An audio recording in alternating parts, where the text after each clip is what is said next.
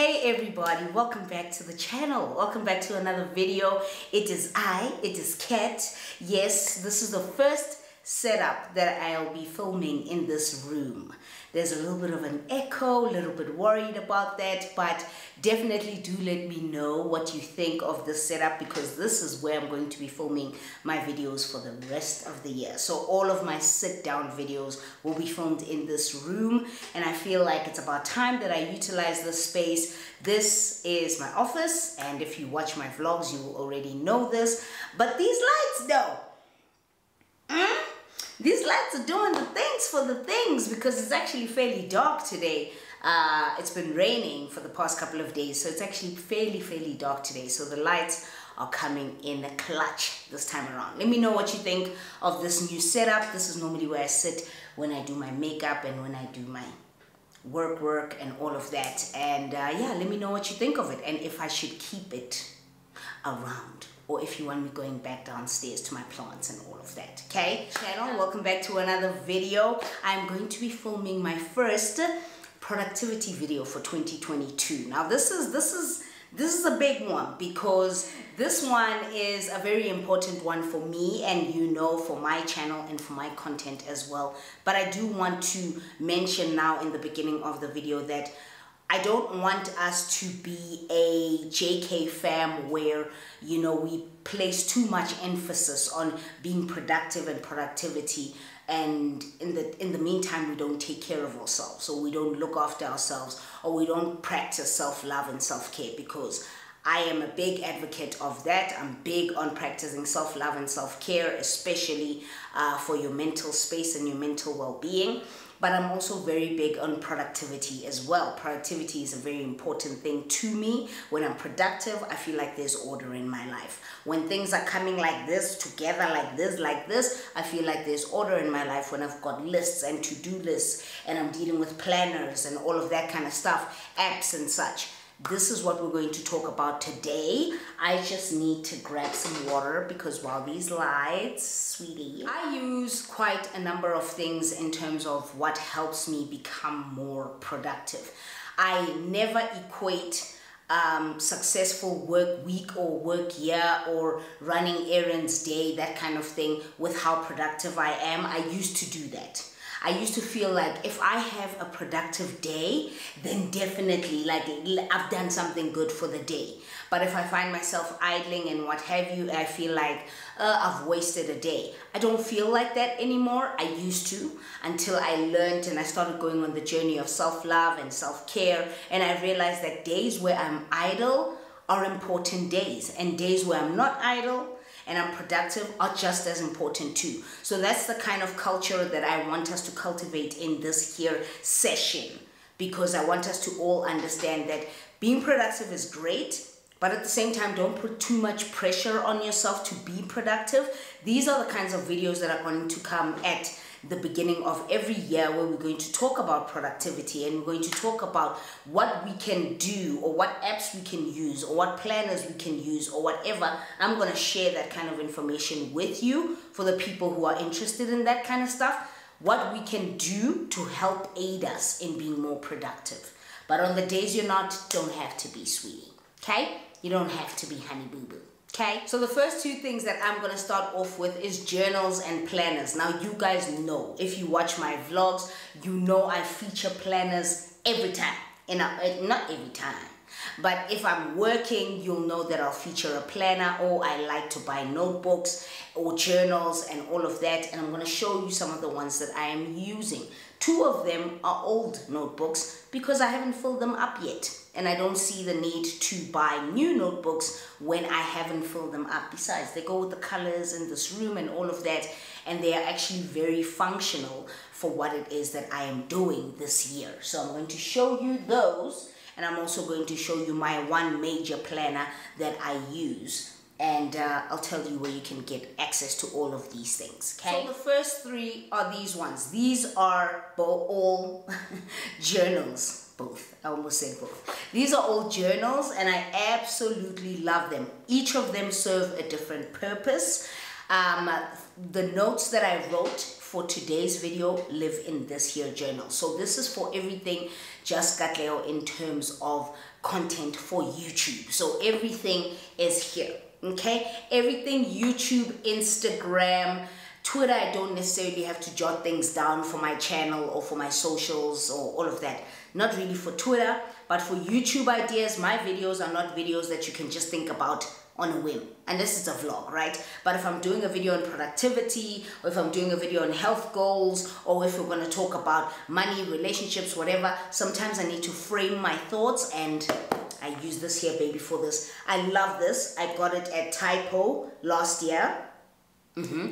And it's a cork sketchbook, and it's so beautiful. There's no lines on the inside. There's no, so there's no lines on the insides. And nice things about sketchbooks is that you can actually rip the pages apart without it looking like it's untidy. There's a little sort of indentation which makes it easy to rip them apart if you don't want to see that page anymore. But pretty much this is what I uh, use when I'm writing down all my notes. It's cork. It's colorful. It's just absolutely gorgeous. It's so, so, so beautiful. And I use this. Typo is great for planners. It's great for stationery. I lose my marbles when I'm in Typo. And I get a lot of my planners from Typo. I get a lot of my desk planners um, and also bits and pieces of my stationery from Typo as well. So I was going to show you one of them, but my laptop is sitting on top of it. So that's pretty much Typo's typo's your girl. Typo's your girl. If you want something maybe a little bit more sophisticated, mature. You know, if you want something a little bit more mature, but you still want to play around with color, these ones from Legami are great. These Legami are great. These are the My Notebook series of notebooks. They're lovely. I've used these for two years, I'm pretty sure now, because um, one of them is stuff for her story, which is still happening. You know, Corona Corona disturbed my peace when it comes to her story, but we're still working it out. So the notebook stays because this is my vision and mission and everything, ideas from the beginning are in here. And I love these because, I mean, in color blocks, this page definer marker where you can like separate pages and all of that. It's great. Love this one as well. My candle is smelling amazing, chair is doing the things sitting right there. Okay, leather. Oops, something is about to fall out of it. But yeah, I use these ones uh, to write down notes for her story, all that kind of stuff. Love them. Also, it's got a little flip thing that comes out. So if you want to segment certain pages, or the last page where you're at, you can just slip it in there and then close the notebook like so. Really, really pretty. Love these ones. Uh, they come in different colors and this one you can find at exclusive books. Uh, journals are really great because for me they help me segment my thoughts but I need a lot more room to write in a journal as opposed to a planner. So with a planner, I just literally write what I need to write for that day, for that week, blah, blah, blah, all that kind of stuff. So a planner doesn't have too much space. But when I need, when I've got ideas brewing, journals come in really, really clutch for that. And planner wise, only one planner works for me, chair. All year, every year. Please, if you are South African, possibly even if you're not South African, contact them and see. But this is the boss planner. This is the I belong fully to myself. The Get It Done weekly planner from Boss Plus One. Look at her.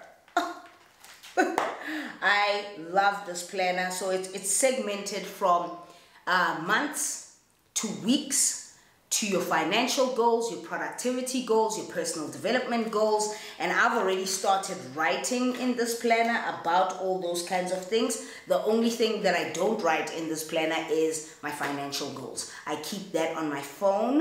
I feel like if I lose this planner, and I've got numbers and all of that. I just I just feel some type of way about writing my financial goals in a planner that I could leave at a restaurant by mistake or something like that. So I don't do that. But um, really, really great. January, at the beginning of January, you have like a to-do list of what you what you can write down in terms of to-do lists and what you can do on a weekly basis. This is pretty much my last week. I'm not going to bring it close, but you can see with the color I react to color. I respond quite positively to color. So this is my last week um, weekly overview spread and my brain dump section, YouTube videos, books to read this month, that kind of thing, uh, video ideas, I said that already, um, work stuff as well, personal work stuff in here as well. Um, so yeah, it's just, it's just, it's beautiful and it's segmented really nicely. It's got little, uh, what do you call these things?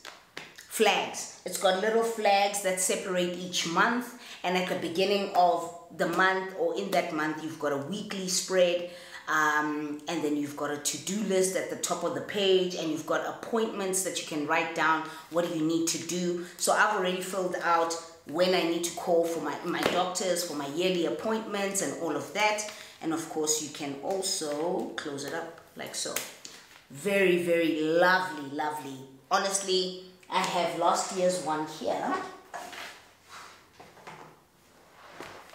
and they've just gotten better. So this is 2021, this is 2022, and it's black and white.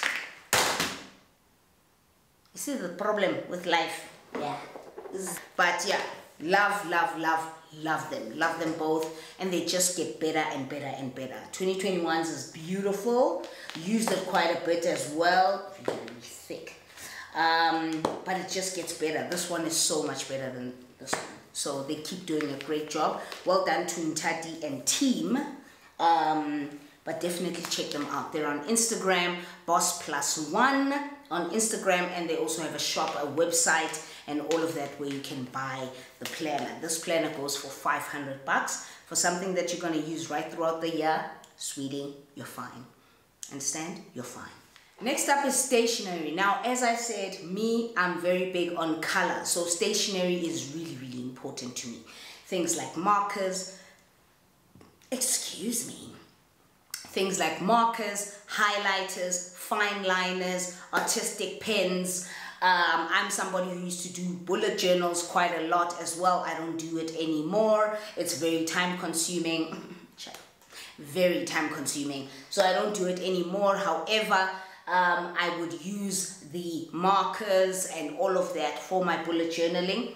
Not only that, I use them in my planners and my journals and all of that. So stationery for me is a big deal. Things like this. Why, why did you have to fall on the floor? Things like flags, things like uh, Post-it stickers and all of that. These things are very important to me because it helps put color on the page. And as I said, I respond very well to color. It helps put color on the page, but it also just um, makes planning and prepping much more fun because it's colorful. I can see. I know that there are people who don't like color, who are not particular, uh, particularly crazy about color, but me, me on the other hand, I am sweetie. I am. I'm a big fan of colored pens, fine liners, artistic pens. These are from Faber-Castell. Faber-Castell has the best pens. It really does.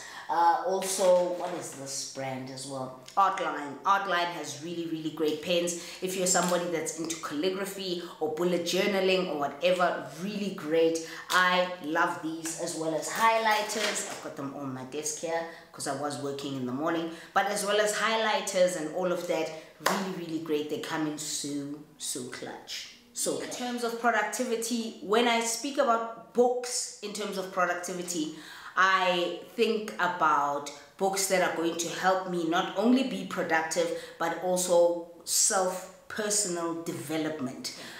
One of the reasons why I do not read um, a lot of one of the reasons why I read a lot of fiction book is, is what am I saying? One of the reasons why I read a lot of fiction books instead of uh, non-fiction, self-help books, whatever, is this here reason right here okay? I appreciate self-help books you know like the 5 a.m club and think like a monk and all these you know um what's the one that Roxanne likes? Laws of attraction all that kind of i love those books and i can appreciate them. But sometimes when you get the wrong self-help book it kind it comes across as very preachy like this is how you should be living your life Okay, this is how you should be living your life. This, if you can do this, you'll be more productive in a day. And some of them just come across really, really preachy. That's one of the reasons why I do not like to read self help books. However, I do um, I made a little goal to myself that this year I do want to read more self help um, content books that will help me in terms of personal development and productivity. So the next book that I'll be reading uh, with regards to that is Atomic Habits. I'm really looking forward to that because it seems like a lot of people with all the reviews that I've read and watched and listened to, a lot of people appreciate the book because it doesn't come across as preachy. One of the reasons why I like to think like a monk um, is because I felt like it came across like I was having a conversation with Jay.